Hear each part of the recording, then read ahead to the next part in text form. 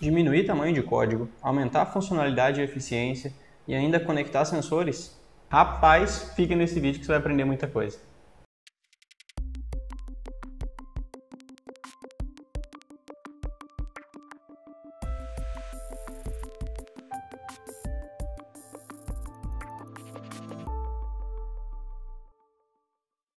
Bibliotecas nada mais são do que trechos de códigos que servem para deixar o seu algoritmo mais eficiente. Então, quando você quer reaproveitar pedaços de códigos em outros projetos, ou até mesmo é, utilizar códigos de outras pessoas, você pode utilizar as bibliotecas para isso. Isso é tão importante porque evita retrabalho na hora do desenvolvimento. Então você não precisa ficar criando todas as vezes aquele mesmo código que você usa em todos os seus projetos. Você pode criar uma biblioteca e essa biblioteca ela contém todo aquele código que você reutiliza. Aí basta você importar essa biblioteca para dentro do seu projeto e tá tudo feito. É muita coisa para uma aula só, né? Fala a verdade. Vale a pena o seu joinha. Clica aqui no gostinho aí, vamos pro vídeo. Então nessa aula eu vou te ensinar como você pode construir bibliotecas para o Arduino e para ESP32. Essa aula também serve para você construir bibliotecas para o STM, serve também para você construir para o ESP8266 e para todas as interfaces que trabalhem ali com a ideia do Arduino. Você consegue usar essa aula aqui para todas. Então nessa aula aqui eu vou usar como exemplo básico a construção de uma biblioteca para a gente executar o exemplo do Blink, sabe aquele códigozinho que fica piscando e acendendo LED? É, então vamos construir ele como exemplo base. Mas você não precisa se apegar a isso, tá? É, nessa aula aqui o ideal é você pegar a essência dela, você entender como que funciona, para você construir as suas próprias bibliotecas, para você usar nos seus próprios códigos. Com o conhecimento que eu vou te dar aqui, você vai poder usar em qualquer lugar, com qualquer código. Primeiramente, a biblioteca ela precisa de três coisas. Então, nós temos que tomar cuidado com a estrutura dela, com a estrutura da pasta, eu já vou mostrar para você o objetivo da biblioteca e quais são as funções que essa biblioteca vai conter. Aqui eu criei um diagrama para mostrar para você como que é a estrutura de uma biblioteca. Dentro da biblioteca você vai ter basicamente quatro coisas, mas três coisas elas são principais. A primeira delas é a pasta src. A pasta src ela vai conter todo o conteúdo da biblioteca, ou seja, vai conter os cabeçalhos, vai conter os códigos, as funções, vai estar tudo aqui dentro da pasta src. E dentro dessa pasta nós precisamos de dois arquivos. Primeiro o arquivo .h, onde nós vamos colocar os cabeçalhos da biblioteca, ou seja, declarações de funções, a declaração da classe, e também o arquivo .cpp, que nesse arquivo .cpp é onde realmente vão estar as funções da biblioteca. Além disso, tem a pasta de exemplos, nessa pasta aqui é, vão estar os, os exemplos da biblioteca, de como que se utiliza, e precisamos também do, desse library.propites aqui. Ele contém os arquivos de informação da biblioteca. Nome, autor, versão, é, arquitetura, para qual placa que essa biblioteca foi feita. Então vai conter tudo aqui dentro desse arquivinho aqui. Além disso, pode-se conter mais um outro arquivo aqui dentro, que é o keywords. Keywords. Aqui dentro desse arquivo keywords, ele, é ele quem dá a aparência visual para a biblioteca. Então, quando você declara uma função, declara alguma classe dessa biblioteca, ele muda a cor ali dentro da ideia do Arduino. Então, ele fica laranja, às vezes fica azul. Então, é dentro desse arquivo keywords aqui que você coloca essas colorações. Esse arquivo aqui ele não é obrigatório. Então, como não é obrigatório, eu vou abordar em outra aula, mais para frente, numa personalização das bibliotecas. Então, o que nós precisamos nos preocupar nesse exato momento é a pasta src com os arquivos de cabeçalho e código, a pasta de exemplos e o arquivo de propriedades da biblioteca. E tudo isso daqui tem que estar dentro da, de uma outra pasta com o nome da biblioteca. E esse nome dessa biblioteca tem que ser exatamente igual ao nome do .h e ao nome do .cpp. Então eu vou colocar bem grande aqui, que é o nome da pasta tem que ser igual ao nome do arquivo .h e do .cpp.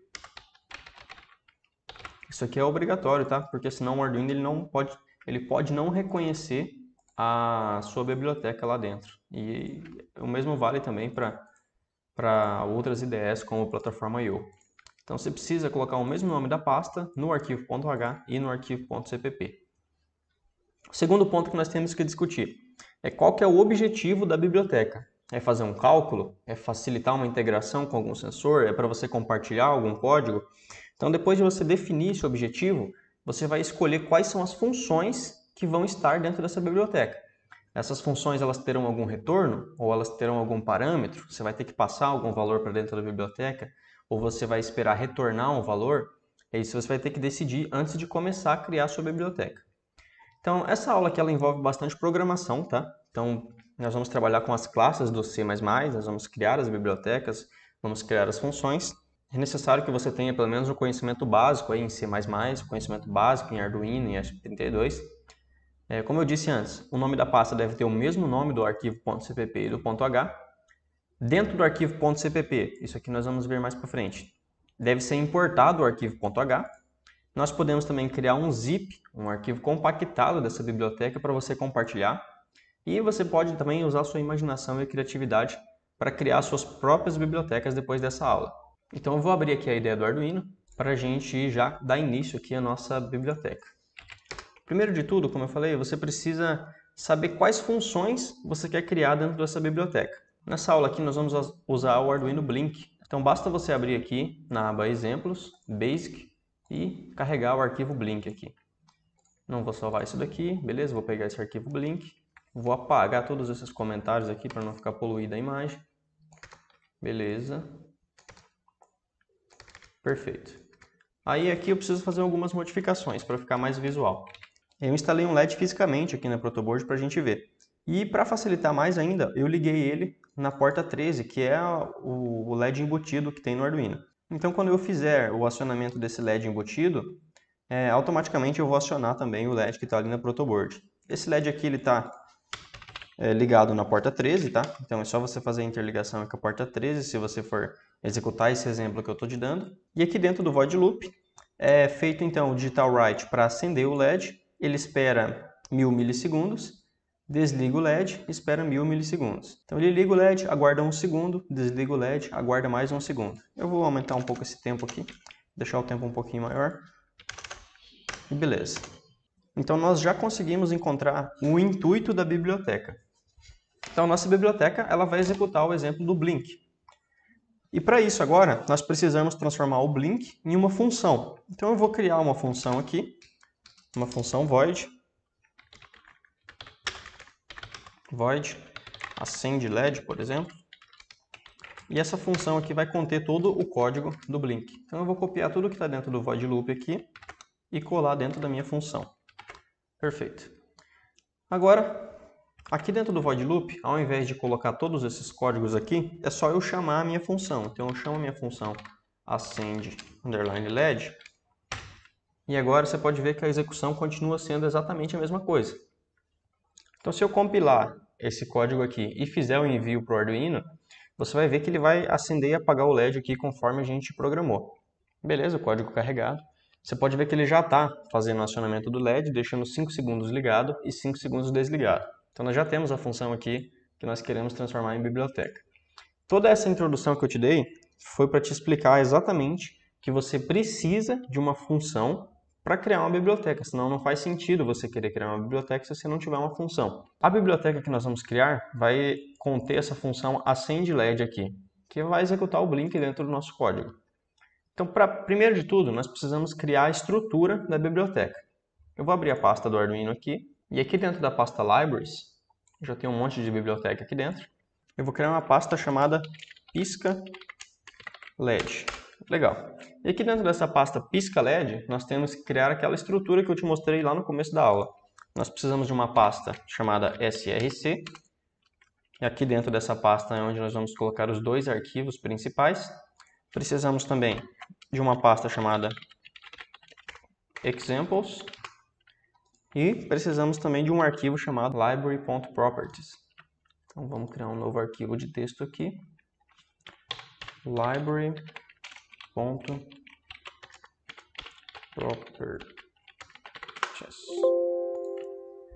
Beleza.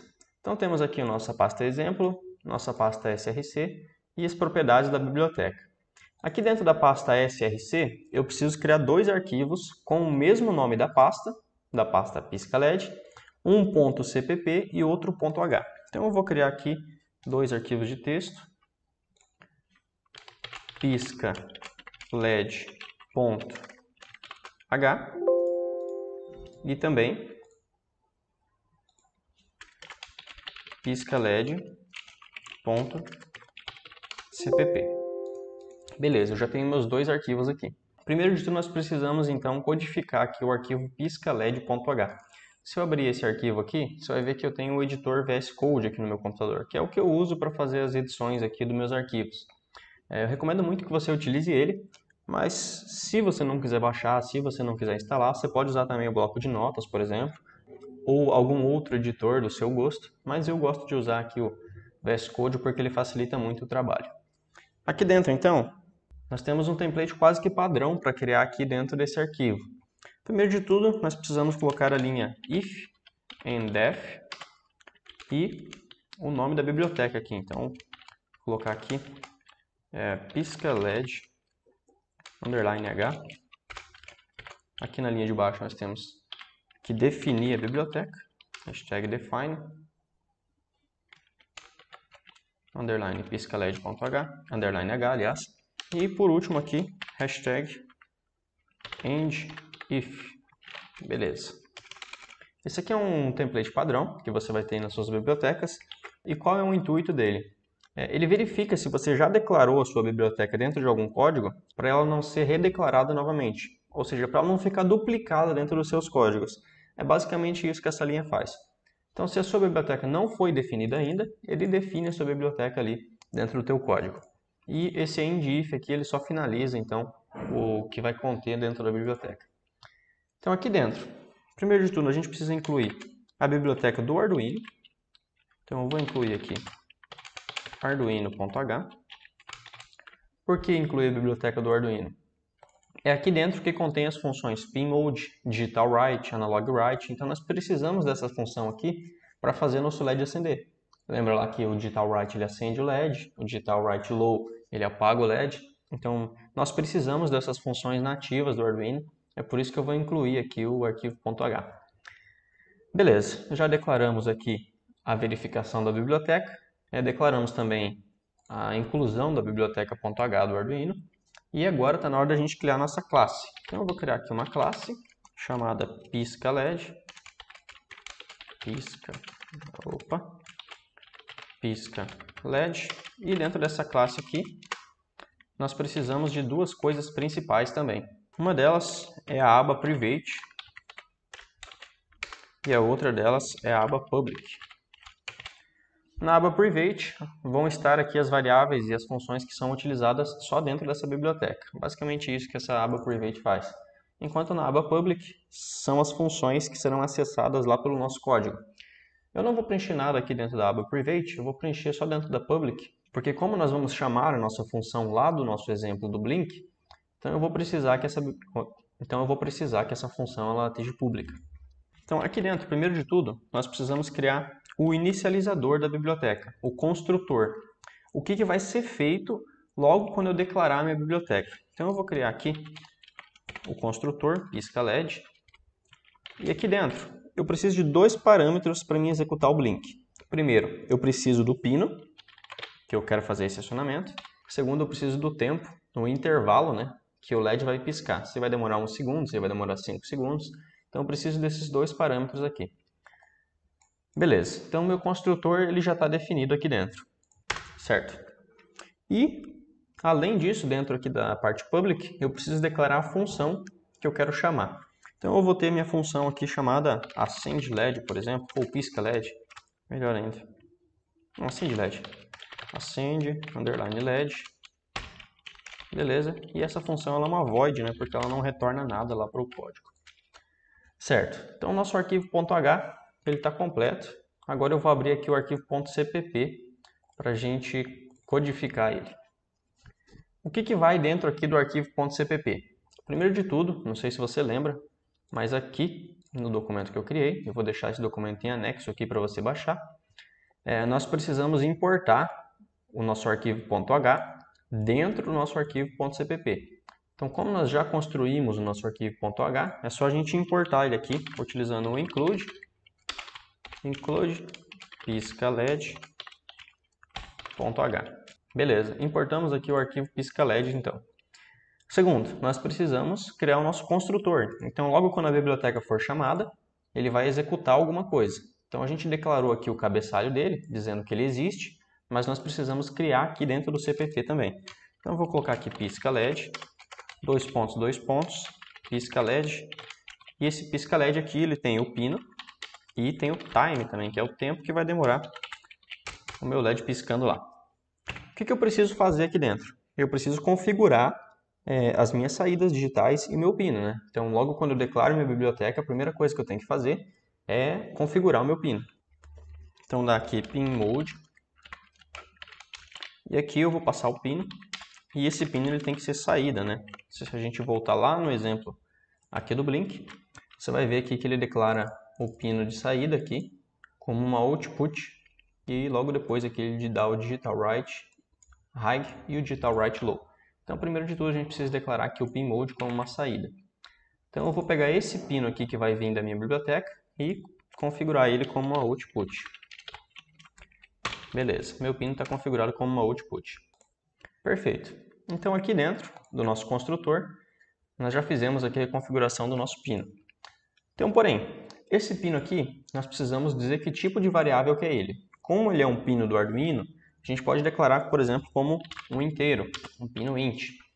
E aqui o time, como ele é uma, uma questão de contagem de tempo, eu sempre gosto de utilizar a variável long, porque ele consegue armazenar um número bem grande, então vamos usar aqui long para o time.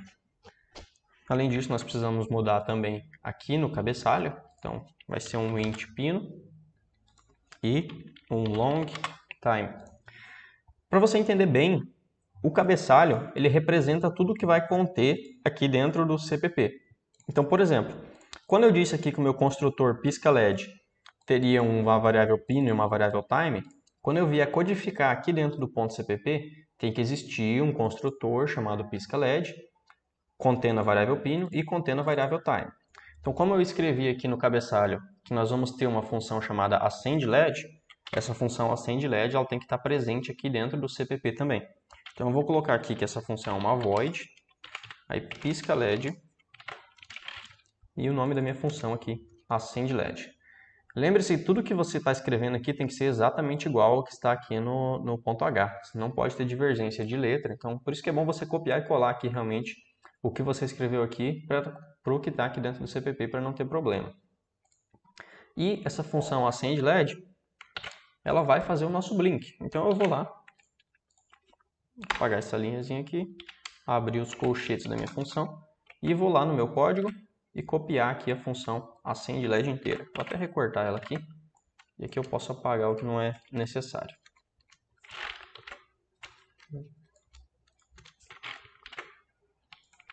Perfeito. Então aqui agora eu já tenho meu construtor, já defino aqui meu pino como saída e eu também faço o blink aqui. Então, porém, aqui nós precisamos passar o pino e nós precisamos passar também o delay aqui, que vai ser o tempo. Mas o pino e o time, eles estão como variáveis locais, aqui eles estão como parâmetros do construtor. Então, aqui dentro da função acendLED, eu não vou conseguir acessar diretamente o pino e o time. Por isso que eu vou criar outras duas variáveis aqui. Vou criar uma variável int underline pino e uma variável long underline time, só para servir de variáveis auxiliares para mim. Essas duas variáveis elas são globais, então vou colocar aqui globais, eu posso acessar ela de qualquer lugar do meu arquivo CPP, mas essas duas variáveis pino e time que estão aqui dentro do pisca LED, eles só podem ser acessados aqui dentro. Então, o pino e o time só podem ser acessados de dentro dessa função que, que eu vou ter que fazer então? Eu vou ter que passar o conteúdo do pino e o conteúdo do time para essas outras variáveis globais que eu criei aqui em cima.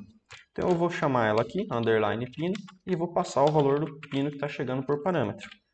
E vou passar aqui o underline time também, com o valor do time que está chegando aqui para mim. Beleza, agora o pino e o time, eu já tenho o conteúdo deles, é só eu usar esse pino e esse time aqui, certo? Então quando eu criar o meu construtor lá dentro do meu código, eu vou passar o parâmetro do pino e vou passar o parâmetro do tempo. Esses parâmetros, quando chegar aqui dentro da biblioteca, eles vão ser atribuídos para essas duas variáveis globais, o underline pino e o underline time, e eu vou usar essas duas variáveis globais para executar minha função aqui. Então aqui dentro eu vou passar o pino, underline pino, e aqui dentro do delay eu vou passar o underline time. Beleza. Então underline pino, underline time. Então aparentemente está tudo certo aqui na nossa biblioteca. Só organizar aqui. Beleza. E agora, como nós já criamos aqui nossa pastinha dentro da pasta Libraries do Arduino, ele já reconhece essa pasta aqui como a nossa biblioteca. Então vamos lá no nosso código agora. Eu vou apagar todas essas linhas aqui. Apagar aqui o pin mode. Apagar a pasta o acend LED.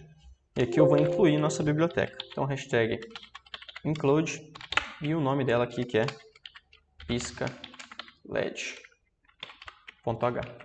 É isso mesmo, pisca LED.h, exatamente. E vou verificar esse código, porque se existir algum erro aqui dentro da minha biblioteca, ele vai acusar aqui para mim.